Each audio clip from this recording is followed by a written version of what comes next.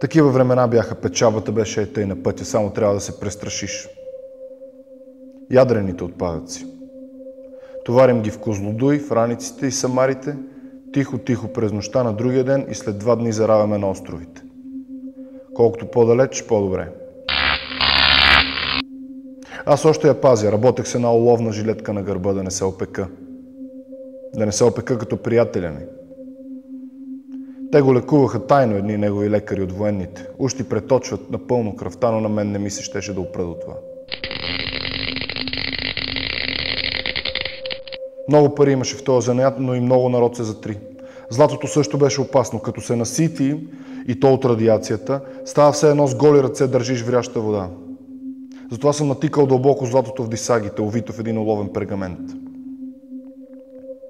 Така де, мина след полунощ, значи ще нощуваме, избрахме мястото, разпрегнахме и някои вече спят, мъртвило, също като сега. Тишина. Аз не се плаша лесно, ама честно да си кажа, оная нощ почти на косъм се отървах. Решил се беше оня мерзавец. Решил се беше, нещо си беше наумил. Пуши, пуши, не спря да пуши.